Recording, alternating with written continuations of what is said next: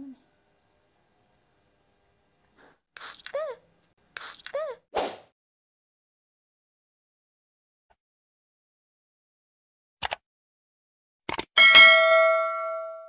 Hai guys, welcome back to my channel YouTube. Di video kali ini aku mau review barang yang lagi viral banget di TikTok. Buat kalian yang mempunyai masalah rambut lepek, gampang berminyak, tonton terus videonya sampai habis. Nah, ini dia barangnya yang lagi viral banget di TikTok nih. Eh, Kira-kira apa ya? Ayo kita buka.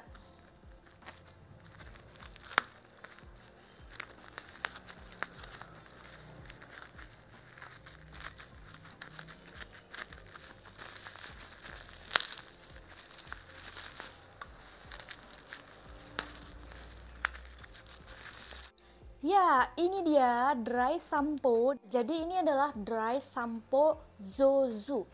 Cuma di sini tuh pakai bahasa Chinese. Di description produknya itu dia tuh tulisannya dry sampo viral. Nah, di sini tuh bahasanya Chinese semua guys tuh. Dia itu isinya 150 ml. Nah, jadi aku jelaskan dulu. Jadi ini adalah spray sampo kering tanpa dibilas. Fungsinya untuk menghilangkan minyak pada rambut dan membuat rambut lebih bervolume seperti habis keramas. Ini kebetulan rambut aku lagi lepek banget tuh. Tadi habis jogging. Jadi lepek banget. Tuh bisa dilihat.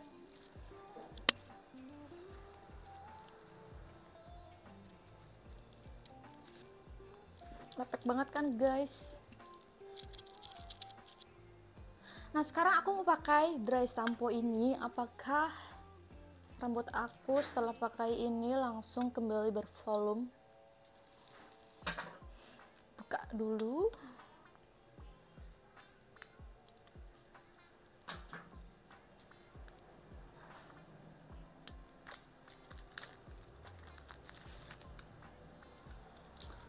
Cara pakainya gampang banget tinggal dikocok-kocok dulu.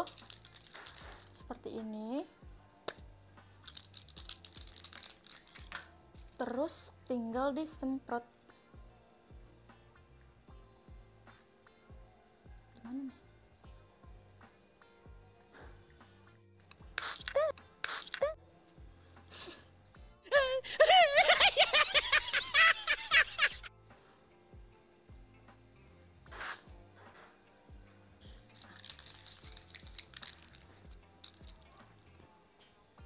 Mari Chop, mari kita coba.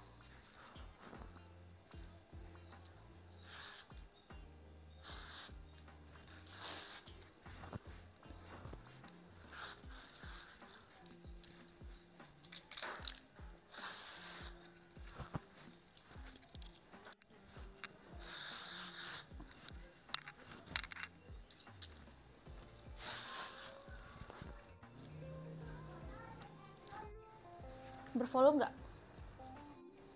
Menurut aku sih lumayan bervolume ya guys. Eh, menurut kalian lumayan nggak?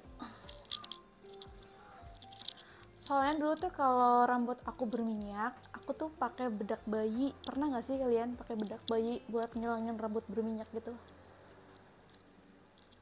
Cuma kan kalau pakai bedak bayi itu kayak ada putih-putihnya di rambut. Jadi ini tuh sangat membantu buat yang mempunyai rambut lepek dan gampang berminyak banget ini.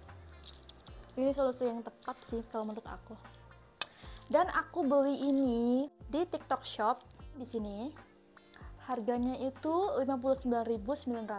Tapi ini tuh baunya itu agak menyengat di hidung. Jadi harus hati-hati guys. Nah, sekian dulu aku review dry spray ini. Buat kalian jangan lupa untuk like, comment, and subscribe. Bye-bye.